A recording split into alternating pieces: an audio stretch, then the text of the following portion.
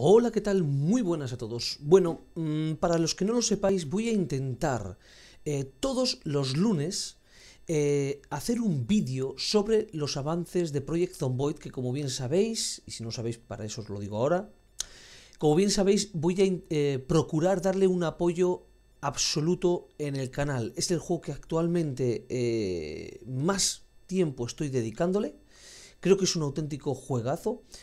Y eh, además de subir una serie, de preparar posiblemente otra serie en multiplayer, hacer eh, directos, ya sea de la serie o directos de retos, además quiero subir lo que se denomina el Mondoid, eh, que básicamente es pues las novedades que todos los lunes se suben se publican desde su página web.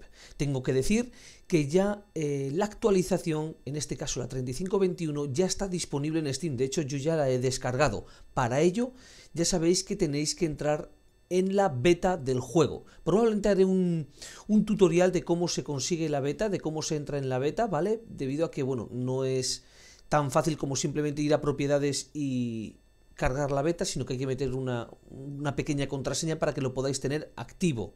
Como digo, seguramente haré un tutorial muy prontito de, sobre este tema, porque seguramente ya, bueno, ya ha habido alguno que ya me lo ya me lo dijo la semana pasada y demás, pero bueno, seguramente pues algunos entre las dudas, ¿vale? El Mondoid de esta semana, para, para esta versión, para la 3521, eh, que como digo, todos los lunes tendremos actualizaciones en principio sobre este tema, ¿vale? Lo que nos trae básicamente es lo siguiente. Ya sabéis que mi, traducción es lo que es, con lo cual, bueno, intentaré eh, lo mejor posible. Y luego habrá muchas cosas que sinceramente seguramente no entienda simplemente porque no tengo experiencia en el juego como para reconocer una, una, una cosa de lo que me estoy hablando aquí muy concreta, ¿verdad? Pues simplemente textualmente os lo diré y se acabó y ya está. Lo, que, lo que significa y ya está. Bueno, empezamos como eh, elementos nuevos eh, para esta versión, para 3521. Se crean ya las facciones. Mm, esto eh, poco a poco se está disparando. ya nos va a permitir en multiplayer en cooperativo, en PvP, ya nos va a permitir hacer las facciones. Dice que puedes crear una facción desde el, desde el panel del usuario presionando el botón de escape en el juego para verlo y de que los administradores podrán utilizar las opciones estas, Faction Day Survive for, to Create, que básicamente eh, para hacer que los jugadores necesiten sobrevivir algunos días antes de poder crear un clan. O sea que no según me meto en una partida multiplayer ya creo un, clan, sino que se va a poder configurar en el propio servidor cuántos días tiene que sobrevivir esa persona antes de que pueda crear un clan. Genial, ¿vale? Se permite añadir eh, un tag, el tag ya sabéis que es como una pequeña etiqueta, ¿no? De cuatro letras y, escoger el color. Esto sí me imagino que será identificativo, este, esta pequeña etiqueta será identificativa precisamente de ese clan. Dice, eso se mostrará sobre su cabeza o no, si se ha deshabilitado en el panel del usuario. Y bueno, me imagino que será un poquito, pues para que los que sean del mismo clan, pues verán el mismo colorcito y las mismas cuatro letras encima de su cabeza y ya podremos identificarnos, porque esto, es que imaginaros de encontrarnos varios clan, eh, es que claro, ya, automáticamente de Walking Dead y demás, pues que te encuentras, ¿no?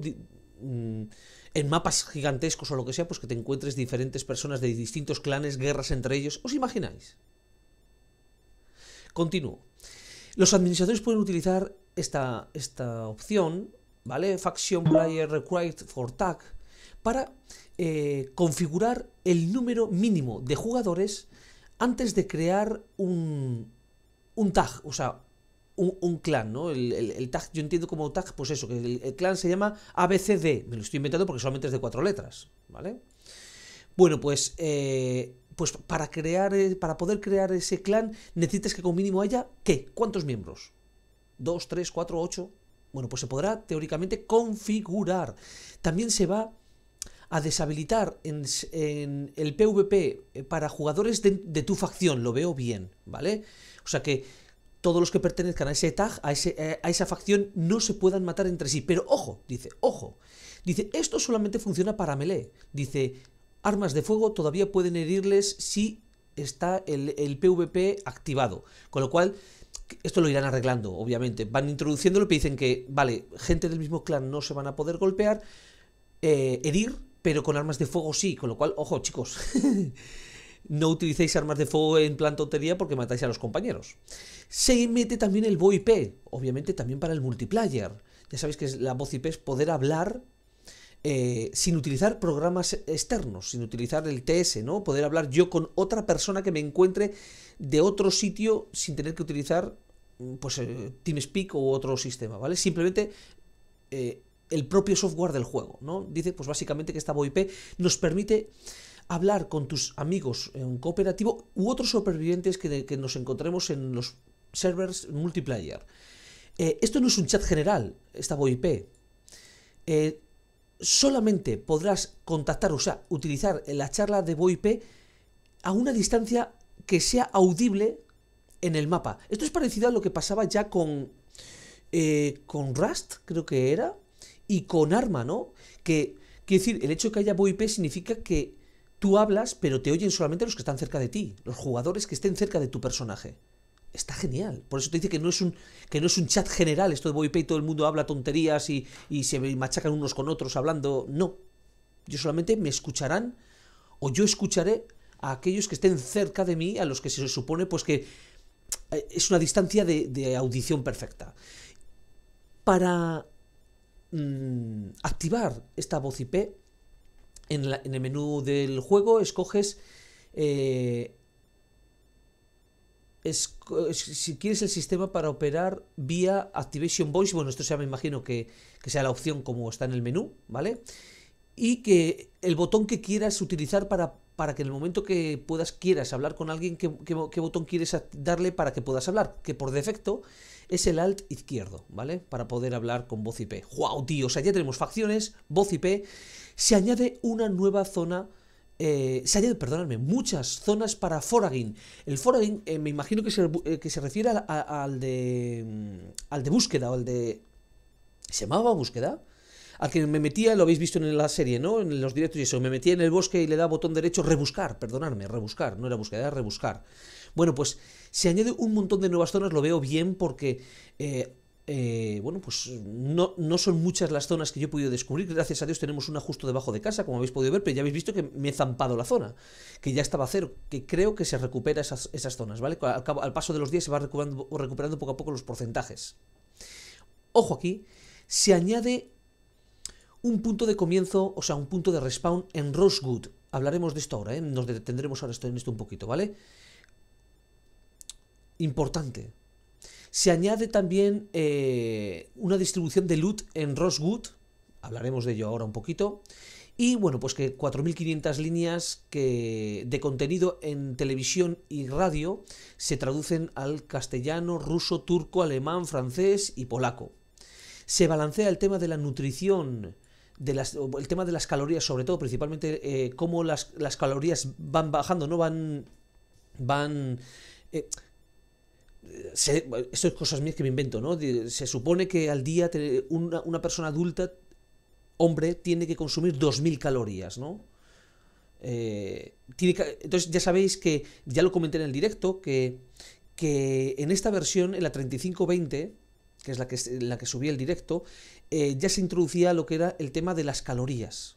Claro, esto es un tema que lo van introduciendo. Recordad que estamos en fase beta dentro de un juego Early Access no es la versión estable, ¿vale? La, estable sigue siendo la, 3428. Bueno, pues eh, ya sabéis que lo que habíamos comentado es que el personaje puede coger peso o puede eh, entrar, digamos, en, en, lo que sería una persona de bajo peso. Creo, creo, no me hagáis mucho caso, que su peso más o menos bien está entre los 75 y 85, algo así, más o menos. Por debajo de 75 o de 80, no me hagáis mucho caso, estaría en bajo peso, que eso traerá ciertas stats, ¿vale? Pues igual que no puede cargar tanto o que no tiene tanta fuerza, me lo estoy inventando, y por encima de los 80, 85, lo que sea, pues eh, tendrá sobrepeso y tendrá también otras stats. ¿Vale? Bueno, pues aquí simplemente siguen balanceando todo ese sistema de las calorías en los alimentos. O sea, genial, ¿eh? Genial. Y luego algunos bugs como es que, bueno, pues eh, básicamente lo que dice aquí, pero no sé exactamente a lo que se refiere, que es que eh, hacía no hacía posible el poder controlar tu casa, o sea, la casa, safe house es tu, hogar, ya sabéis, el que protegemos y todo eso. No sé exactamente qué, no sé qué bug sería ese, ya os digo, estas cosas sobre todo, pues es para los que juegan ya muchas horas, que ya se lo conocen todo al dedillo, yo no sé lo que es esto. Aquí, por ejemplo, también arreglan otro bug que de, no sincronizaba el nivel de acceso a ciertas, en ciertas condiciones, no sé a lo que se refiere con eso. Eh, pues que no funcionaba eh, el, nivel de acceso directamente desde el server. Yo no sé si esto se refiere a partidas multiplayer, ¿eh? podría ser. Y luego ciertos errores que, que, se causaban cuando utilizabas el farming plot. Es, Farming es la agricultura, ¿no? Bare hands, eh, eh, eh, con las manos vacías, ya sabéis que se nos permite, bueno, no creo que no lo he explicado, pero bueno, os lo digo. Yo para hacer lo que es las zanjas en el suelo, para poder plantar, puedo utilizar una pala de jardinería, una pala normal, o también puedo utilizar las manos. Lo que pasa es que utilizando las manos es posible que que nos las dañemos, ¿no? Que, pues que sangremos y que después tengamos que tratárnoslas. Bueno, pues al parecer había algún tipo de bug eh, o se causaban ciertos errores había cuando utilizábamos las manos desnudas para hacer precisamente la agricultura. Desconozco porque ya como bien sabéis el tema de la agricultura no es un tema que, eh, que, yo, haya, eh, que yo haya tocado. ¿Vale? Pues esto es lo que nos traería la 3521, pero os he dicho antes, se añaden puntos de comienzo de spawn en Rosgood y además se añade también loot. Rosgood es una es, hay nuevas zonas desde hace unos 15 días, ¿vale? Tenemos nuevas zonas exactamente desde el 31 de octubre eh, de la página web, que os aconsejo que lo echéis un vistazo, que es la que yo me baso sobre todo para subir estas noticias. Eh, el, día 31 anunciaron dos nuevas zonas en los mapas de, eh, de Project Zomboid. Rosewood y March Ridge. ¿Vale? Aquí hice un poquito eh, bueno, pues eh, aquí en este hilo, pues la gente dice, pues qué es lo que ha encontrado, porque nos dice aquí las localizaciones de esas dos zonas, ¿vale? Que son estas dos localizaciones que ahora mismo las vamos a ver. Sinceramente, lo poco que he podido leer, no he querido leer mucho porque me encantaría encontrarme yo la sorpresa, pero por lo poco que he podido leer, eh, es un...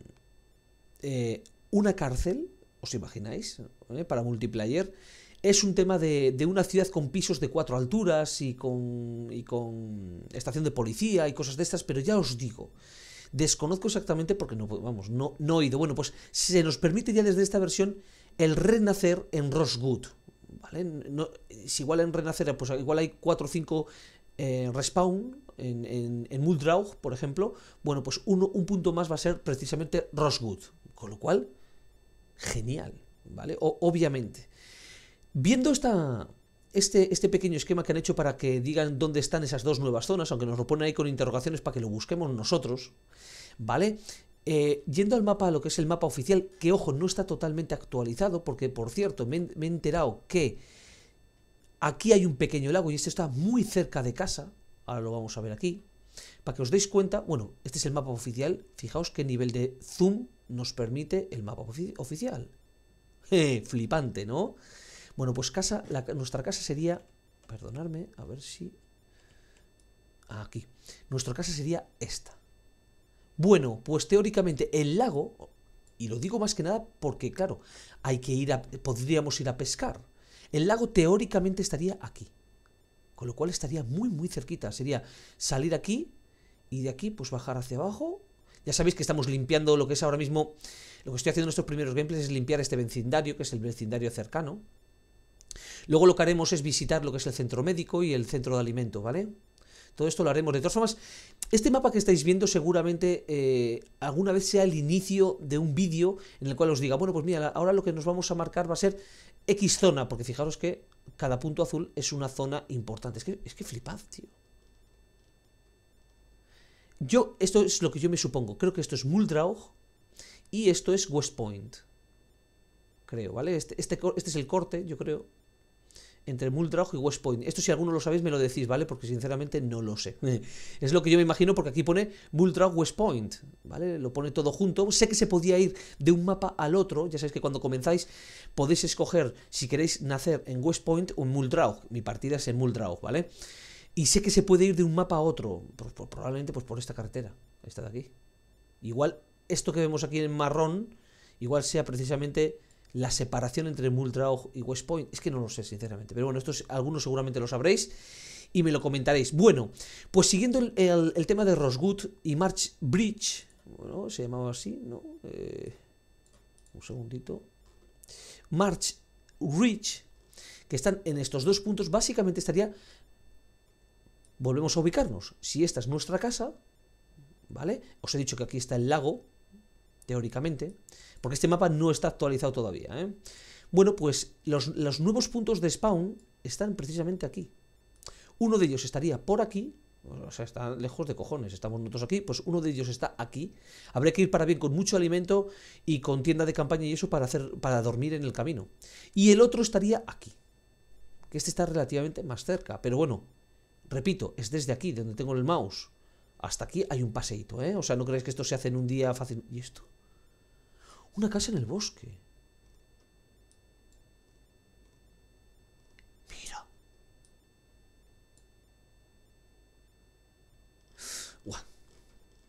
pasote, ¿vale?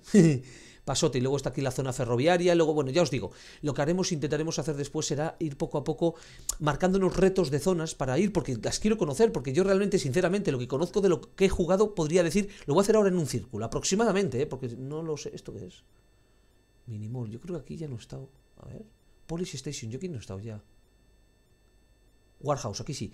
Podría ser un, más o menos, ¿eh? La zona podría ser lo que estoy haciendo ahora mismo. No, esta sí que he estado yo. No, sí, en esta he estado yo. Más o menos una, una cosa así. Desde aquí hasta aquí y luego por aquí. Calculo más o menos... ¿Esto qué es? No, en el campo de béisbol no. Pero más o menos una cosa más o menos así. Que no está mal. O sea, quiere decir que igual es el 20% de todo el mapa. Pero fijaos todo lo que hay todavía. O sea, yo he podido ser más o menos esto. Por decirlo así, más o menos lo que más o menos conozco, lo que he llegado a, descubrir, ¿vale? Jugando en offline. Pero bueno. Bueno, pues aquí quedaría ya todo dicho sobre este Mondoid. Me gustaría que me dijerais qué os, os parece que los lunes destine a, a subir un vídeo explicativo de los avances, de los nuevos avances de que se van incluyendo en Project Zomboid, yo creo que está bastante bien porque lo había pensado también hacer en el propio vídeo, pero el propio vídeo pues no os podría enseñar un poquito pues las zonas o alguna foto, alguna imagen que vayan subiendo, alguna cuestión. Yo creo que no está mal eh, que lo haga en un vídeo aparte cortito de unos 5, 10, 15 minutos, aunque este haya sido un poquito más. Pero más o menos me gustaría, bueno, que sepáis que este mapa no solamente es Muldrogs y demás, sino también eh, lo que va subiendo la comunidad, ¿eh? Que de esto, por supuesto, mira, The Walking Dead Prison, la prisión de Walking Dead y la leche. De esto que sepáis que, bueno, haremos serie en, nuevos mapas, for Falls. Pues fijaos que es que. Joder lo que se curra la gente. o sea. O Driftwood. Fénix. Bueno, impresionante como siempre. New Denver, que también es otro de los mapas teóricamente famosos. Que sepáis que para ir a New Denver, o sea, por aquí, por esta carretera, creo que se conecta a Muldraug. Estaría Muldraug, estaría aquí abajo. O sea, la gente se va buscando, se coge huecos del mapa que están libres y se hace ahí su ciudad. O sea, es impresionante. Impresionante.